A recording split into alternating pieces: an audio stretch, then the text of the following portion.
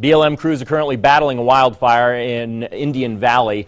The Shirts Fire, as it's known, has torched around 1,500 acres around 10 miles south of Indian Valley. It's burning in remote terrain. No structures are threatened. The fire comes as crews have contained the Gardenia fire that shut down a section of Highway 55 yesterday. It torched a little more than 200 acres. And with the 4th of July just around the corner, fire managers are calling on everyone to remember that fireworks are prohibited on forest and rangelands. And crews expect to have the mile marker 43 Highway 52 fire near Emmett controlled this evening. It's already contained. Burned more than 10,000 acres after a bird hit a power line, sparking that blaze on Thursday afternoon.